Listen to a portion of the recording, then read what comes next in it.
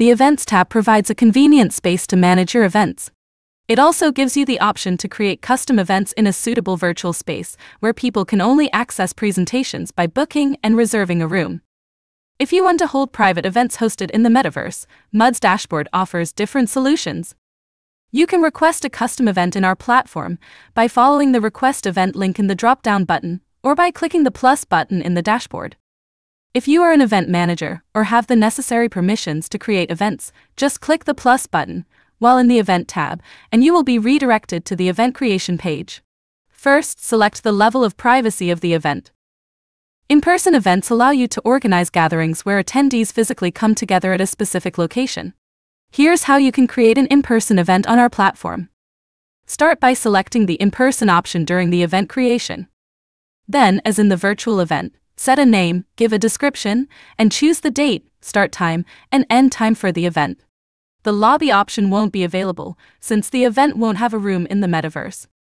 The only difference with virtual events is that you'll have to add a preview image for your presentation.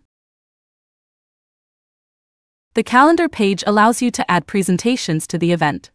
You can click the hour in the calendar or select a range of days and then click the plus button. You can customize the presentation based on your needs. Add a name, description, time, where your presentation will be hosted. You can also upload an image for your presentation or leave it empty.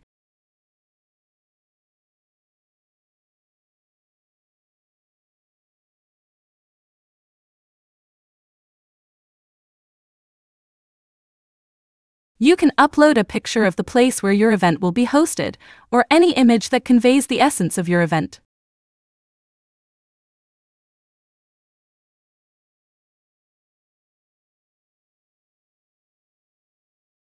On the invitation page, you can include other people as presenters, managers, or as audience members.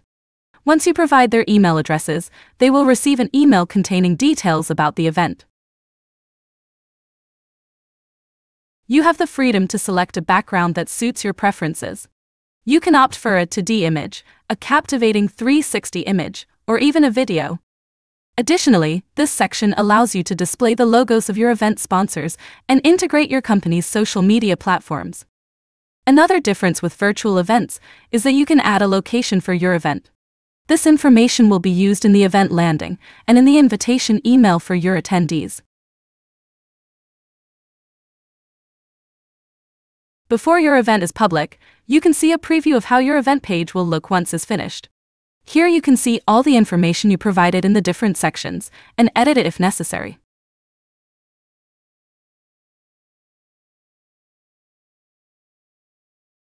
Once you're finished, click the Publish button. The invitations will be sent, and the landing will be open to the public. Now your event is published. You can edit the information, add presentations, or invite more people anytime you want.